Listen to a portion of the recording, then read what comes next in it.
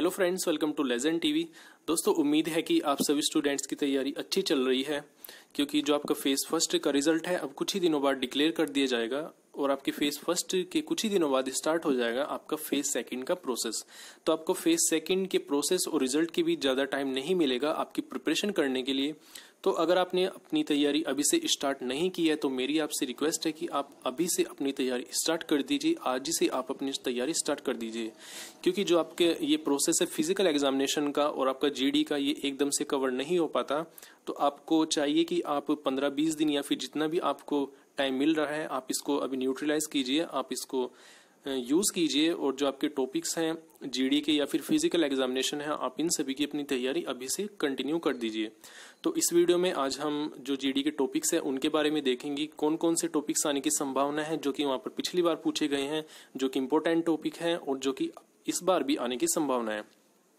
तो मेरे ख्याल से जो वहाँ पर टॉपिक्स पूछे जाते हैं जीडी में वो सबसे पहले पूछे जाते हैं करंट टॉपिक्स या फिर टेक्निकल टॉपिक या फिर सोशल टॉपिक तो जो करंट टॉपिक्स हैं, उनमें जैसे डिजिटल इंडिया या फिर बेटी बचाओ बेटी पढ़ाओ इस तरह के आपके टॉपिक्स आते हैं। टेक्निकल टॉपिक्स में बुक्स या फिर इंटरनेट इन पर अधिकतर आपके टॉपिक्स लगभग आते हैं। थर्ड नंबर पर है सोशल टॉपिक जो कि वुमेन एम्पावरमेंट और इन्वायरमेंट का जो टॉपिक है, आपके इस पर आते हैं। तो जो मेरे पास जो पिछली बार जो टॉपिक आया था, वो था बुक्स का और इंटरनेट का, यानी कि बुक्स और इंटरनेट को कंबाइन करके इसका यूज़ जो था वो उसके बारे में था तो उसके बारे में पिछली बार आया था और जो मेरे फ्रेंड्स थे उनके पास जो वुमन का था वो आया था और एक टॉपिक आया था, मेरे ध्यान नहीं आ रहा, मैं आपको बता दूँगा। तो ये टॉपिक्स इस तरह से आपके पूछे जाते हैं। तो हम इम्पोर्टेंट टॉपिक देखेंगे जो कि इम्पोर्टेंट है। तो दोस्तों, जो आपके इम्पोर्टेंट है टॉपिक वो ही आप पहले करिए, उसके बाद जो भी आपके टॉपिक्स बचते हैं, वो आप नॉलेज के लिए बाद में कर सकते हैं, अपनी तैयारी के लिए कर सकते हैं। लेकिन सबसे पहले आपसे रिक्वेस्ट है कि आप वही टॉपिक्स देखिए, उन्हीं के बारे में आप पढ़ने की कोशिश कीजिए, जो कि इम्पोर्टेंट हैं। तो सबसे पहले देखते हैं कि जो करंट टॉपिक्स हैं, उनके बारे में सबसे पहले नंबर पर है बुलेट ट्रेन क्योंकि बुलेट ट्रेन का जो समझौता है, वो जापान के साथ चल रहा है तो करंट टॉपिक में संभावना है बुलेट ट्रेन की।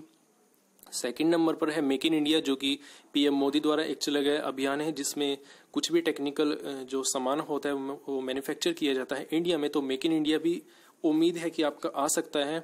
थर्ड नंबर पर है बेटी बचाओ, बेटी पढ़ाओ, मेरे ख्याल से मोस्ट इम्पोर्टेंट है।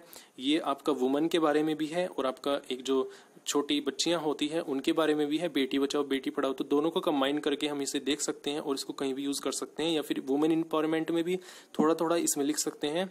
यानी कि इसके बारे में हम देख सकते हैं और बेटी, यानी कि जो छोटी लड़कियाँ होती हैं, उनके बारे में। तो मिक्स करके बेटी बचाओ, बेटी पढ़ाओ जो टॉपिक है, ये आपका इम्पोर्टेंट है। नेक्स्ट है स्वच्छता अभियान, जो कि एक स्वच्छता अभियान है भारत में जो चल रहा है 2014 से, जो कि प्रधानमंत्री द्वारा जो शुरू किया था।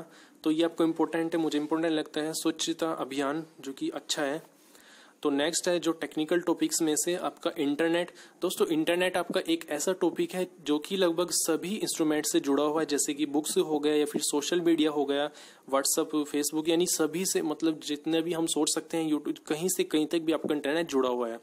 तो इंटरनेट को आप किसी भी तरीके से, यानी कि किसी भी आप टॉपिक में वहाँ पर बोल सकते हैं। अगर आपसे बुक्स का टॉपिक पूछा गया तो भी आप उसमें थोड़े से अपने जो इंटरनेट के उसमें इशू है, वो आप रख सकते हैं। सोशल मीडिया के इशू आप बुक्स में सॉरी इंटरनेट वाले टॉपिक में रख सकते हैं। तो इसी तरह से आप कहीं भी इंटरनेट को यूज़ कर सकते हैं। तो इसके बारे में आप अच्छे तरीके से पढ़ लीजिए, जहाँ भी आपको मिलता हो इंटरनेट के बारे में। तो उसके बारे में आपको पता होना ज़रूरी है। तो एक इम्पोर्टेंट है ये भी आपका इंटरनेट तो नेक्स्ट है बुक्स तो बुक्स के बारे में भी जो मेरे पास आया था बुक्स और बुक्स और इंटरनेट का था तो ये भी इम्पोर्टेंट लगता है। दोस्तों, सारे ही इम्पोर्टेंट है। मैं ये नहीं कह सकता कि ये इम्पोर्टेंट है। ये फिर ये ये जो आपको मैं बता रहा हूँ, ये सारे के सारे इम्पोर्टेंट है। आप इन सभी के बारे में थोड़ा थोड़ा अच्छे तरीके से देख लीजिए। तो नेक्स्ट है सोशल मीडिया ये भी इम्पोर्टेंट है। नेक्स्ट है साइंस एंड टेक्नोलॉजी तो साइंस एंड टेक्नोलॉजी के भी क्वेश्चन सॉरी क्वेश्चन कह रहा हूँ, जो आपकी जीडी के टॉपिक्स है, वो पूछे जाते हैं। तो आपको ये भी कर लेने ज़रूरी है। नेक्स्ट है वुमेन इन इंडिया तो वुमेन के बारे में या फिर गर्ल के बारे में जो आपका टॉपिक है, जो यानी कि वुमन से जुड़े हुए हैं, वो वुमेन इंडिया इन इंडिया में आ जाते हैं तो आपको देख लेना ज़रूरी है वुमन इन इंडिया का टॉपिक बहुत ही अच्छे तरीके से तो इसके बाद है इन्वायरमेंट जो कि ज़रूरी है, जो कि हमें पता है कि प्रदूषण बढ़ता जा रहा है तो इसके बारे में भी हमें पता होना ज़रूरी है, ये भी आने की संभावना है, जो कि एक सोशल टॉपिक है। उसके बाद है पॉपुलेशन ये भी एक सोशल टॉपिक है, जो कि आ सकता है। उसके बाद है करप्शन इन इंडिया ये भी एक इम्पोर्टेंट है। उसके बाद है western culture India in India दोस्तों, ये जो आपका टॉपिक है वेस्टर्न कल्चर इन इंडिया इसके बारे में मुझे पिछली बार जो मेरा एग्ज़ाम हुआ था फेस टू का, उस, उसके टाइम पर मुझे काफ़ी कुछ इसके बारे में पता चला था वेस्टर्न कल्चर इन इंडिया के बारे में। तो जो भी मेरे फ्रेंड्स थे, उन्होंने, यानी कि उन सभी ने मुझे बताया था कि वेस्टर्न कल्चर इन इंडिया का जो टॉपिक इम्पोर्टेंट है, यानी कि उन्होंने सभी ने अपनी तैयारी कर ली थी। तो मुझे ये भी इंपॉर्टेंट लगा था वेस्टर्न कल्चर इन इंडिया तो इसमें हम अपनी कल्चर को भी जोड़ सकते हैं, यानी इंडियन कल्चर को भी जोड़ सकते हैं, और उसके जो हमारे नेगेटिव पॉइंट है, फिर पॉजिटिव पॉइंट है, उसको जोड़ करके बता सकते हैं हम वेस्टर्न कल्चर से। यानी कि हम वेस्टर्न कल्चर और इंडियन कल्चर में दोनों में कंपेयर कर सकते हैं वेस्टर्न कल्चर इन इंडिया के टॉपिक में। तो ये भी इम्पोर्टेंट है, आप इसके बारे में अच्छे तरीके से पढ़ लीजिए। नेक्स्ट दोस्तों Indian neighbours China and Pakistan, ये भी आपका इम्पोर्टेंट है, जो कि करंट का भी टॉपिक है और एक सोशल टॉपिक है। क्योंकि जो भारत के अधिकतर झगड़े होते हैं, फिर लड़ाई झगड़े होते हैं, भारत के किसी दूसरे देश के साथ, वो पाकिस्तान या फिर चाइना पाकिस्तान या फिर चाइना के साथ में ही होते हैं। तो ये भी एक इम्पोर्टेंट टॉपिक है, इसके बारे में भी आपको देख लेना ज़रूरी है। तो नेक्स्ट है दोस्तों गेम्स इन इंडिया तो गेम्स इन इंडिया में आपके सभी के सभी गेम्स आ जाते हैं, जैसे क्रिकेट है, भारत में सबसे ज़्यादा लोकप्रिय है क्रिकेट उसके बाद फुटबॉल और कबड्डी तो इसी तरीके से आप गेम में थोड़े थोड़े से, अपने थोड़े थोड़े से पॉइंट रख सकते हैं सभी टॉपिक जो सभी आपके टॉपिक्स हैं गेम्स के, उनके गेम्स इन इंडिया के टॉपिक में। तो यही है दोस्तों आपके इम्पोर्टेंट टॉपिक्स तो मेरी आपसे रिक्वेस्ट है कि अगर आपने अपनी तैयारी नहीं की स्टार्ट की है तो अभी से आप अपनी तैयारी स्टार्ट कर दीजिए। तो यही है दोस्तों अभी के लिए टॉपिक्स तो इसके बारे में और भी हम ज़्यादा जानेंगे, लेकिन अगली अगली वीडियो में, क्योंकि दोस्तों एक वीडियो में सब कुछ बताना इजी नहीं होता और काफ़ी मुश्किल होता है क्योंकि एक एक पॉइंट की जो आपकी टाइमिंग होती है वो काफ़ी बढ़ जाती है और फिर अच्छा नहीं लगता। तो जितना शॉर्ट हो, अभी के लिए उतना ही ठीक है। तो अभी आप केवल इन टॉपिक्स को देख लीजिए और आपकी जो तैयारी है वो इस तरह से चलनी चाहिए कि आप एक दिन में एक या दो टॉपिक आराम से देख ले। उसका आपका मेथड होना चाहिए कि आप जो भी अपने टॉपिक्स पढ़ते हैं वो इंग्लिश में पढ़ें। यानी कि इंग्लिश टू इंग्लिश उन्हें पढ़ने की कोशिश करें और उनके जो आपके मीनिंग है वो तो आप हिंदी में ही सोचेंगे, लेकिन उसके यानी कि टॉपिक पढ़ने के बाद थोड़ी थोड़ी कोशिश करें उसके बारे में बोलने की। तो जो भी आपके अंदर वर्ड्स हैं, जो भी आपने सीखा जैसे इट इज़ या फिर दिस इज़ या फिर दैट इज़ उसी को आप जोड़ जोड़ के उस टॉपिक के बारे में थोड़ा एक्सप्लेन करने की कोशिश कीजिए। तो इसी से दोस्तों आपकी जो इंग्लिश है वो इम्प्रूव होगी और आप बिल्कुल वहाँ आराम से बोल पाओगे जीडी में अपनी अच्छी अपनी जो है, अपना सौ परसेंट आप दे पाओगे। आपको कोई भी परेशानी नहीं होगी। तो आपको रटना नहीं है कि ये वर्ड है, मैं इसको रट लूँ। बिल्कुल भी कुछ भी रटना नहीं है। आप बस उसको अंडरस्टैंड करने की कोशिश करोगे। आप उस टॉपिक को समझने की कोशिश करोगे।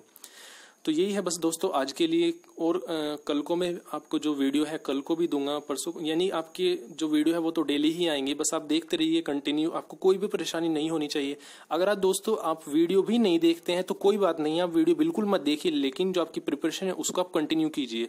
आप यहाँ से मत देखिए तो आप कहीं और से जो आपके टॉपिक्स हैं जीडी के वो देख लीजिए एसआरटी के अपने क्वेश्चंस देख लीजिए। कहीं से भी दोस्तों आपको कुछ भी मिलता हो, आपको अभी कोई भी रिस्क नहीं लेना है।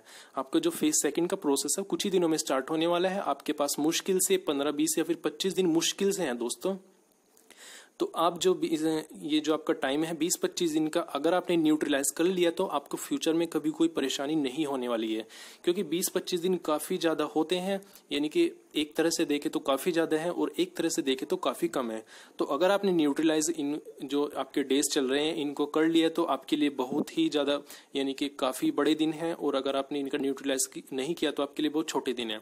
तो आप डेली अपनी प्रिपरेशन कीजिए और नई इन्फॉर्मेशन के लिए देखते legend TV thank you very much